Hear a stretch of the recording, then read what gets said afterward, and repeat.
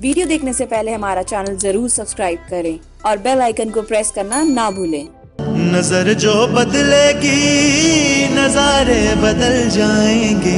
प्यार पन पेगा तो दिल से दिल मिल जाएँगे फ्रेंड्स मैं हूँ अनुजा। आपका एक बार फिर से स्वागत करती हूँ बहुत ही खास शो में जिसका नाम है लव विद एस्ट्रोलॉजी आइए जानते हैं through our love analyst and famous renowned astrologer Acharya Satish ji.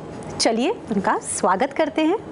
नमस्कार आचार्य जी। नमस्कार। लव विद एस्ट्रोलॉजी में आपका बहुत बहुत स्वागत है। धन्यवाद आपका। आचार्य जी बहुत सारे कॉलर्स हैं जो आपसे बात नहीं कर पा रहे हैं तो आप हमें इजाज़त दें तो हम एक मेल पढ़ के सुनाना चाहेंगे आपको। बिल्कुल स्वागत है।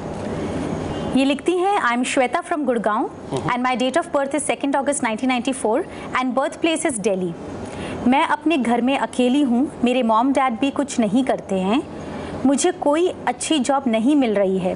जहाँ भी जॉब के लिए जाती हूँ, वहाँ सब लोग बुरी नज़र से देखते हैं तो मुझे जॉब छोड़नी पड़ जाती है। प्लीज़ मुझे बताइए कि मुझे कोई अच्छी जॉब मिलेगी भी कि नहीं? बहुत बढ़िया बात बोली आपने। और इस बात को बच्चे समझो आपकी कुंडली में राहु और चंद्रमा एक साथ विराजमान है। ऐसे में थोड़ा सा मुझे ऐसा लगता है कि चिंतन आपका विमुक्त होना चाहिए। थोड़ा डिफरेंट तरीके से सोचना शुरू करिए। कौन क्या देखता है कौन क्या कहता है इससे फ़र्क नहीं पड़ता। फ़र्क पड़ता है कि हम सोचते कैसे हैं। कोई आपको मंदिर का प्रसाद दे रहा है और आप प्रसाद नहीं खाते आप मिठाई समझ के खा लीजिए।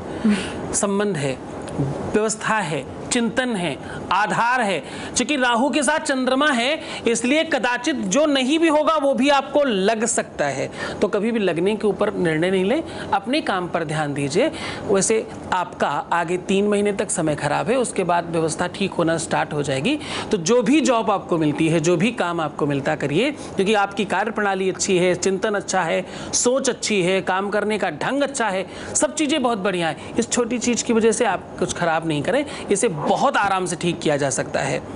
एक लोहे का छल्ला अपने अंगूठे में लगा लीजिए। लौह अपने आप में शनि को रिप्रेजेंट करता है और इमीडिएट फ़र्क डालता है। 24 घंटे के अंदर फ़र्क पड़ेगा इसका। लोहे का छल्ला अपने अंगूठे में लगा लीजिए। लोहे का कोई भी छोटा मोटा बर्तन मंदिर में दान करें शनिवार के दिन। लोहे के ही बर्तन में अगर आप खाना थोड़े दिन खाना शुरू करते हैं और अखरोट मंदिर में दान करें, अखरोट स्वयं भी खाएँ, शिव चालीसा का पाठ करें, घर में नमक का पोछा लगाएँ जहाँ सोते हैं वहाँ नीचे मोर पंख रखें। इतना करने से ईश्वर की कृपा होगी और आप बहुत आनंदित होंगे त्वरित लाभ होगा।